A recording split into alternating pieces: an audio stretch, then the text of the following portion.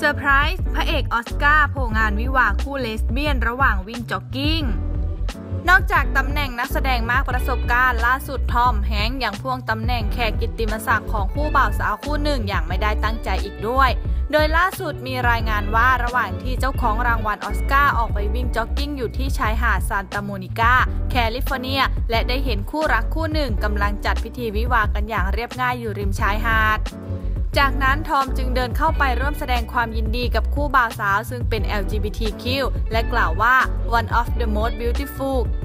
ceremony ซึ่งทำให้ทั้งคู่ตกใจมากรวมถึงแขกในงานคนอื่นๆ จึงสังเกตและเริ่มตะโกนว่า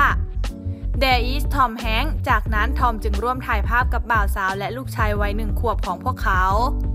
และเหตุการณ์บังเอิญเหล่านี้ไม่ใช่ครั้งแรก ซึ่งก่อนหน้านี้ทอมทำหน้าที่เป็นแขกสุดเซอร์ไพรส์มาแล้ว 3 ครั้ง โดยครั้งแรกเกิดขึ้นในปี 1993 ขณะถ่ายทำภาพยนตร์เรื่อง Forrest Gump ครั้งที่ 2 ในปี 2008 ซึ่งทอมพาเจ้าสาวไปถึงสถานที่จัดงานแต่งงานขณะถ่ายทำภาพยนตร์เรื่อง Angel and Demon ในอิตาลีและครั้งที่ 3 ในปี 2016 ระหว่างที่วิ่งออกกำลังกายอยู่บริเวณสวนสาธารณะ Central Park ในมหานครนิวยอร์กก็บังเอิญไปเจอคู่รักถ่ายพรีเวดดิ้งจึงมีการหยุดทักพูดคุยและอวยพรกันเล็กน้อย